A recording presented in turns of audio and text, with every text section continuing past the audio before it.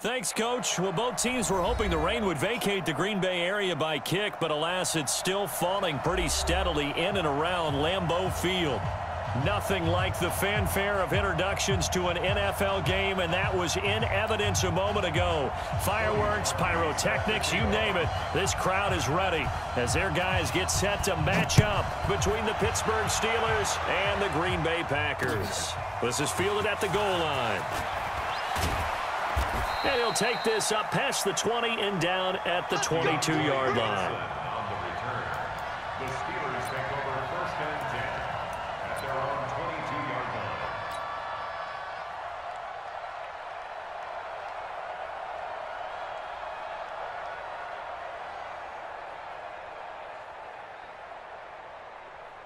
Ready, ready. 10 2 stop. Pick it up. Shift, shift. Look at me. Go, go.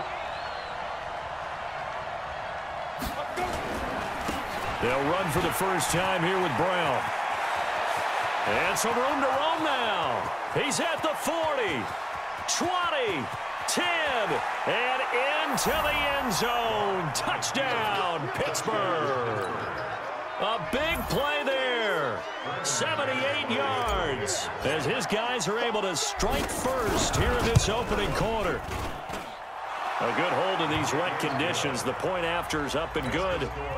And it's now a 7-0 game. After the touchdown, here's McManus now to kick it away. This is fielded a couple yards deep. And he'll probably wish he'd reconsidered here. It will cost him 10 yards as he's down at the 15.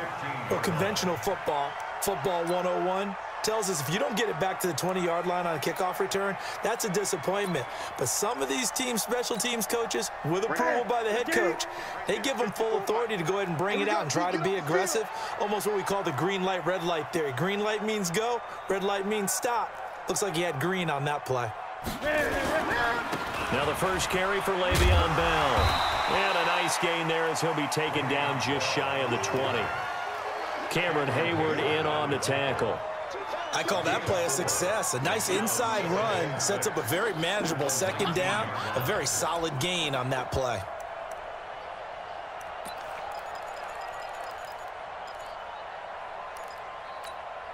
The run got four. Now they deal with a second and six. Tight end left. Tight end left. Four down. Four down. Newton to throw. Steps away to his left. And he can't find a receiver, and he's brought down. And now following that sack, looks like we've got an injured man down there on the field. Well, he gets attended to. We'll step aside.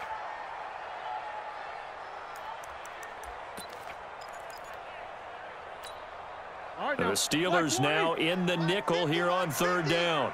That's right, baby. They don't want it. Alert, alert. Hey, hey, hey, hey, hey. 50. 50's the mic. 50's the mic. Why they say? Relax, relax. Out of the gun, it's Roethlisberger. He gets it to Brown. complete. And he'll take this across the 25 before going out of bounds. 14 yards, good for a Packer first down.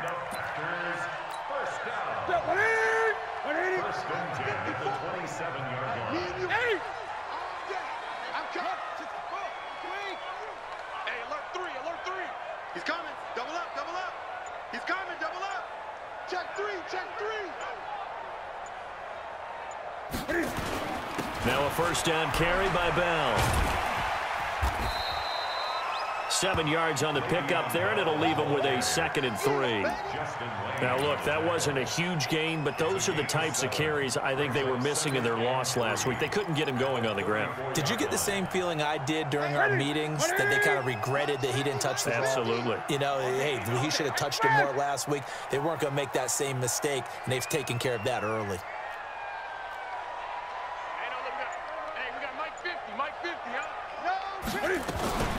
second down, it's Bell. Looking to find a lane, but he can't. Reined in at the line of scrimmage.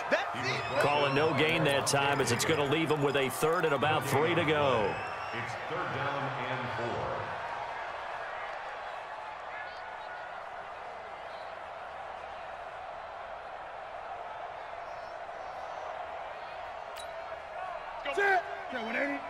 Check, check, check, check, check.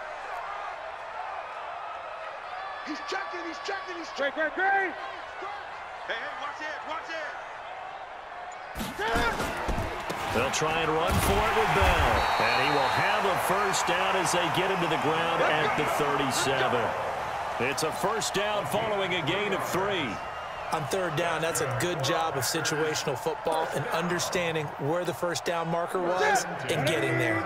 Line of scrimmage, the 37 on first and 10. Strong right. Strong right. Even, even. Four down. Even, even.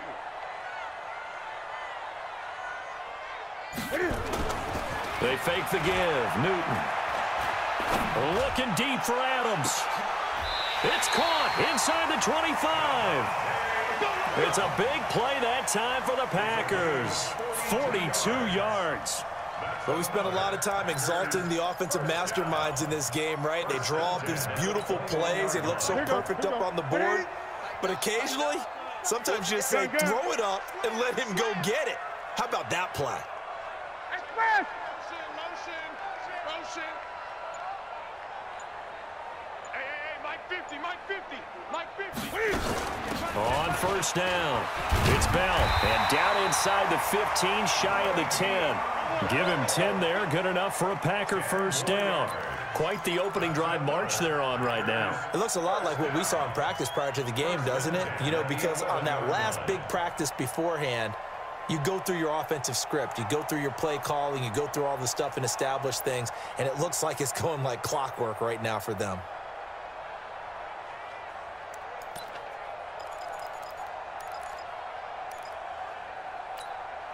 Counting down toward the midway point in quarter one.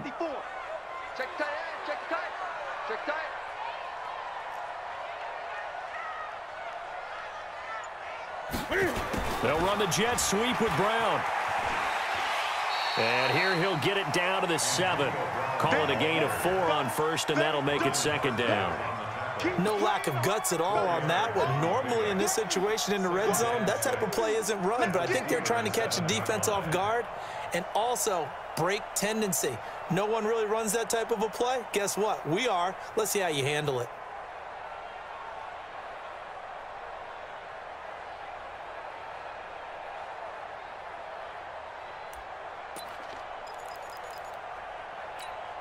Let's set. 180. Let's go, D. Let's go.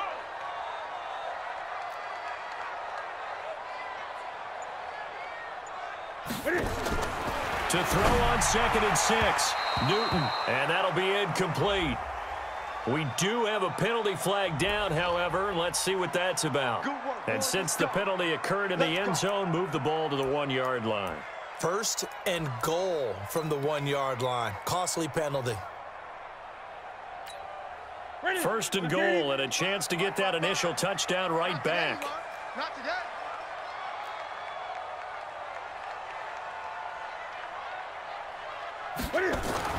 Now Newton. This will be caught by Brown. And he's going to take it in. Touchdown, Packers. Antonio Brown. His fourth touchdown on the year. As his guys are on the board here in this first quarter. Extra point was hooking, but he does make it through. And we are tied at seven.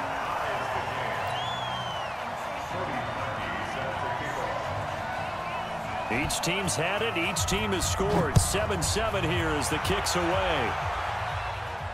And a fair catch signaled for and taken successfully. Black can win. Black, The go. Steelers take over first and 10 at their own 25-yard line.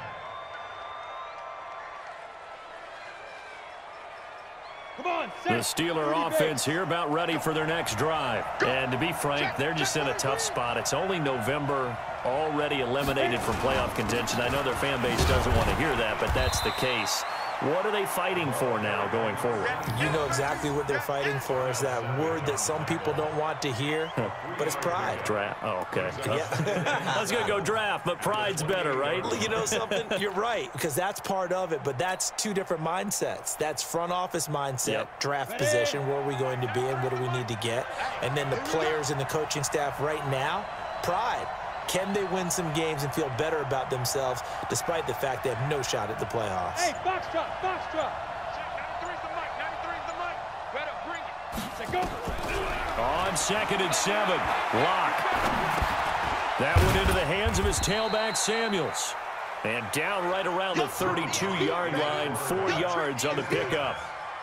Everyone's got to be able to catch the football. Doesn't matter what position you play, but if you're on offense, be aware a ball may come your way.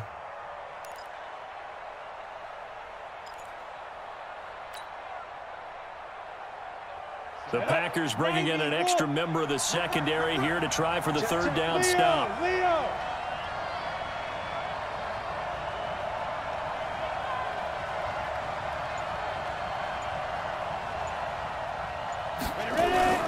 They'll run on third down with Brown.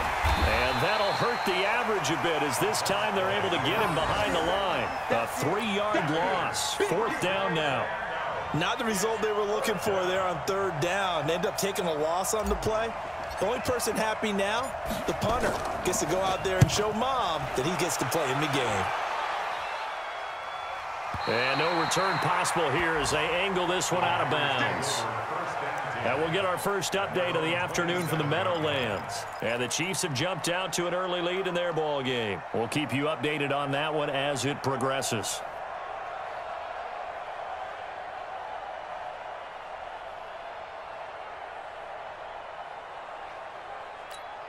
Ready. The Packer offense ready to get their next drive underway. The last possession, these guys were able to tie the game with a touchdown, and now they'll have a chance to move out in front. Yeah, let's give a big assist to the defense who got the ball back. The special teams went out there handled things. They've got it. They've got momentum. I know they're eager to get out there and put it on display. That catch, number 750 of his NFL career, and it puts him even with not just one but two Hall of Famers, Michael Irvin and Charlie Joiner. So some pretty good company at 750. Now you talk about the playmaker, Michael Irvin, and the guy who just made plays, Charlie Joiner. And that's what we're seeing here. Similar style in terms of being dependable, being open, and turning it into plays that you remember. Greg, Greg. Set it. On second down now, it's Bell, and he is going to be stopped cold behind the line of scrimmage. It'll go as a loss of a yard, and it'll...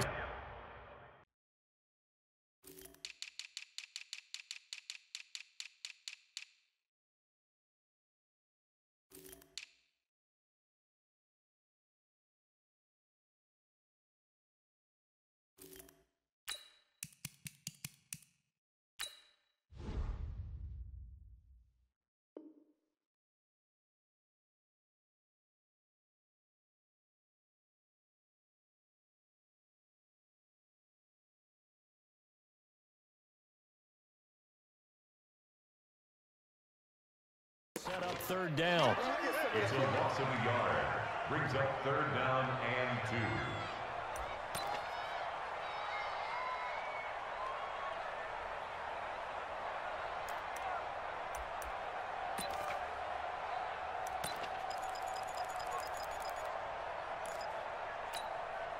And on third down, a nickel formation here defensively. Single, single.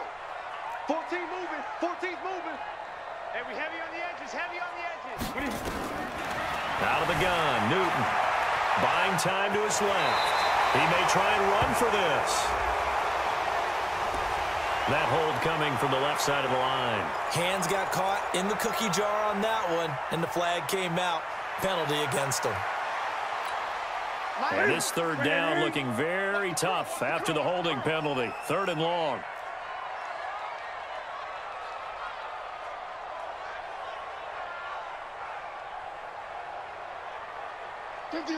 58. Eight. Mike's 50. Mike's 50. Watch the backer. Watch the backer. A shotgun snap for Newton. And they get to Newton and take him down for the sack. T.J. Watt, what a season he continues to have. His 15th sack of the campaign. On fourth down on is the punter, Colby Wadman. He punted four times in the loss last week as he gets this one away here. That's pulled in at the 32. Now a hit and a loose football. And the Packers pick it up. And he'll get it all the way down inside the 35-yard line. These two teams all tied after one.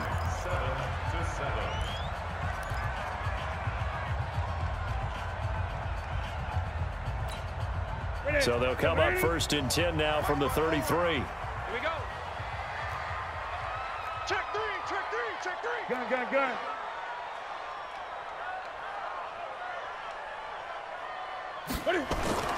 Back to throw, Newton. He's going to take a shot right away for the end zone. Got a man open, it's Adams. Touchdown, Green Bay. Davante Adams with touchdown number eight on the year. And the Packers have taken the lead. Parkey with the extra point, and that makes the score 14 to 7. Now after the score, it's Parkey on to kick it away. That'll be taken in the end zone. And he'll bring it a few past the 20 to the 23-yard line. Now after the completion, we're going to get a timeout, an injured player. While the trainers take a look, we'll step aside.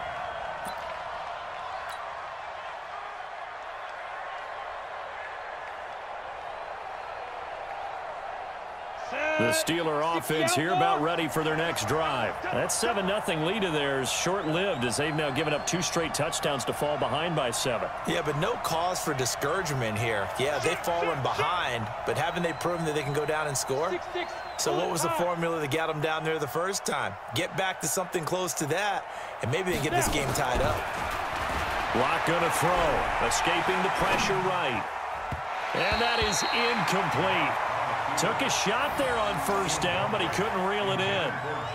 Even though that one was incomplete, you could see the training that went into that play. He gets out of the pocket, ends up moving to his right. All he's trying to do, though, extend the life of the play, keep it alive, hoping someone would pop free. Was able to take a pretty good shot with a deep ball, but incomplete. On second down, it's Brown. And he'll wind up losing yardage here back at the 21-yard line. The tally there, minus two yards, brings up third down.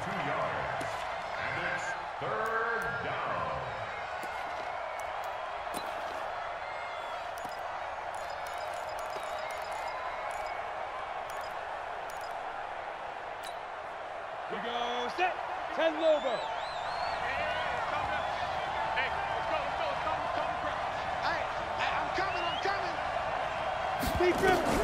Throwing his lock on third down. And he's caught on the sideline, but he's not going to have a first down. They say he was out of bounds, so a big call there. That brings up fourth.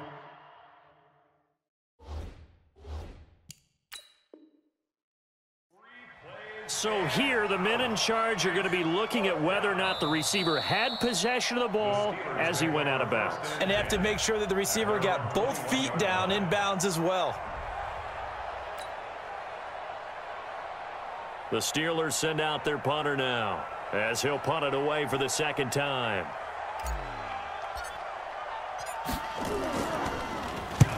And he gets it away, a directional kick going toward the sideline. And the punt over the side in the air, and the spot will be inside the 35.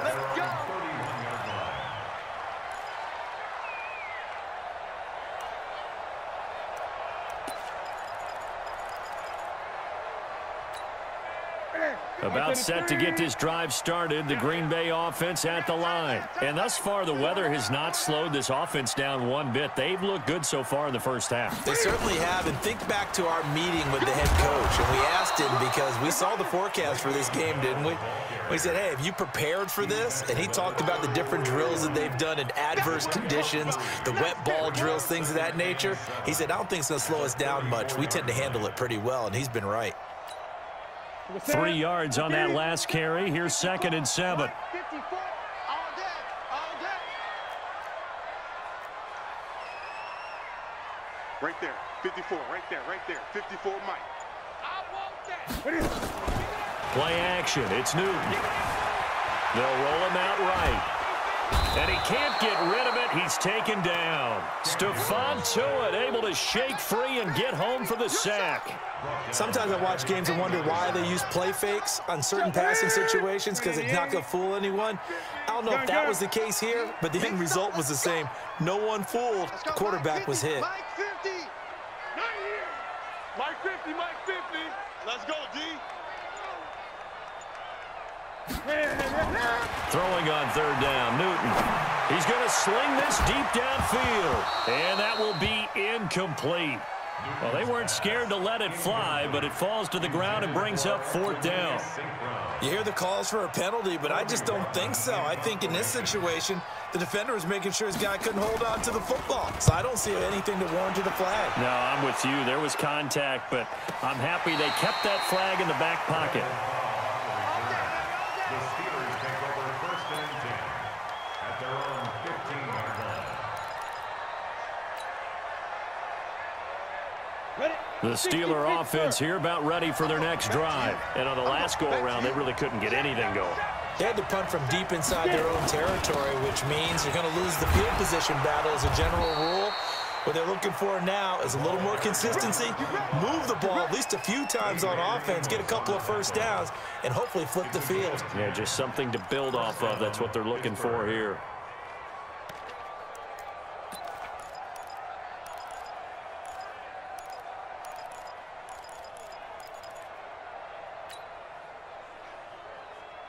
we go. 50, plant.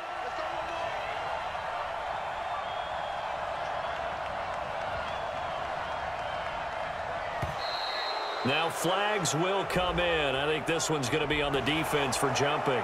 So step off the five yards. Yeah, partner, you know, defensive end, he wants to get into the offensive backfield. He wants that get off to be as fast as possible. A little too quick on that one. They will come up on a first and five following the encroachment penalty.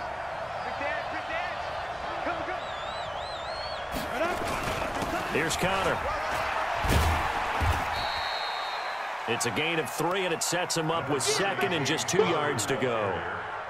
Brandon, all things considered, they have to feel pretty good about getting that type of a gain considering the blitz that they just had against them. 32-yard line.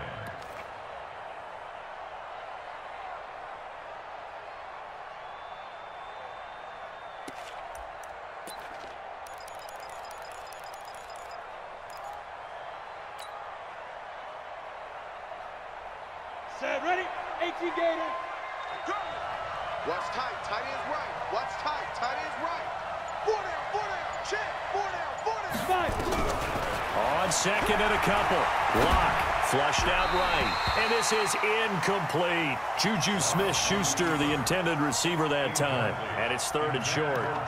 Basically, you're not going to outwork two guys very often. Double coverage. I thought he was going to go somewhere else with the football. I get it. That's a stud wide receiver. You want to try to get him the football. Yeah, sometimes you rely on him a bit too much. You forget the other options that are out there. Down. After the incompletion, here now, third and two.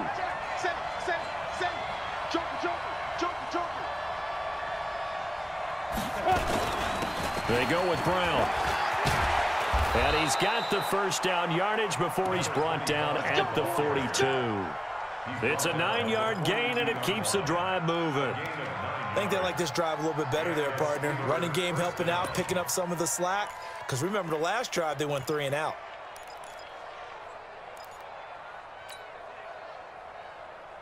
Let's go. So two first downs, and that moves the ball to the 42 now, first and 10. 22 jet bombers. 22 jet bombers. He's crossing. He's checking crack.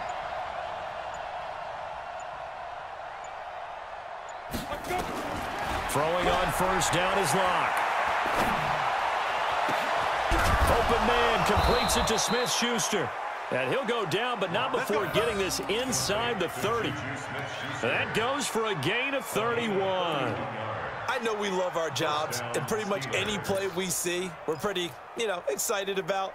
But big plays, let's face it, that's what we absolutely live for. How about that one? That was great. And what our camera missed was the fist pump from the sideline after that catch. They're fired out. That's a big game. That's the way. That's the way. They'll run on first down. It's Brown, and he'll lose yardage here, going down back at the 28. It's a loss of a yard there, and now second down. Well, with the kind of half he's had, I think we can forgive him that run, right? Not every run's going to be a big play, is it? No, and also the blocking just wasn't there. No room to run. Yeah, defensively, they got to find a way to build on that because he's eating them alive in the first half.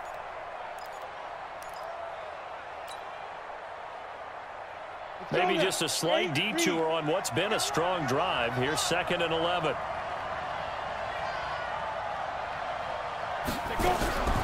Lock to throw on second down. And he fires one that's intercepted. Adrian Amos with a pick. Weaving through traffic, and now he's free. And into the end zone, it's a pick six and a Packer touchdown.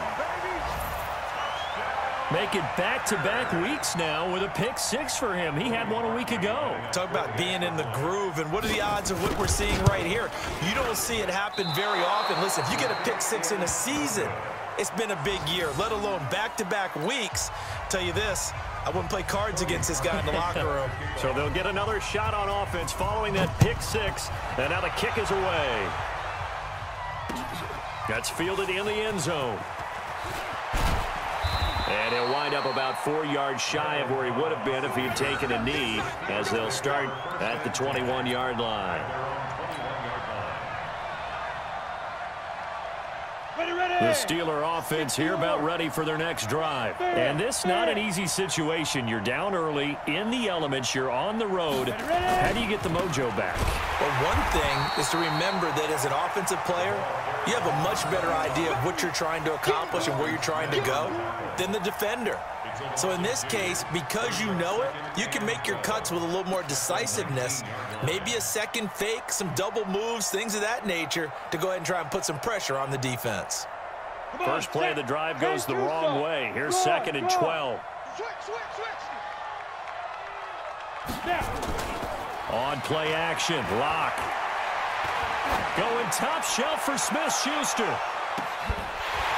And this is going to wind up incomplete. The coverage there too strong on the deep ball, and now they face a third down. One of the toughest things about playing defensive back is pattern reading, trying to figure out what they're doing. And